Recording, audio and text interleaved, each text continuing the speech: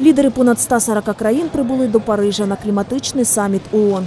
Учасники мають домовитись скоротити викиди парникових газів в атмосферу. Головна мета обмежити глобальне потепління до 2 градусів за Цельсієм. Крім того, учасники мають узгодити програми фінансової допомоги державам, які потерпають від негативного впливу кліматичних змін. Йдеться про країни, що розвиваються. Чимало експертів вважають, що досягти усіх поставлених цілей буде важко. Краще мати якусь угоду, ніж не мати ніякої. Усі розуміють, що гарних намірів недостатньо для того, аби досягти мети обмеження глобального потепління до 2 градусів. Гравці в світі економіки та фінансів сьогодні справді мобілізують зусилля, тому зараз можливо буде легше ухвалювати політичні рішення.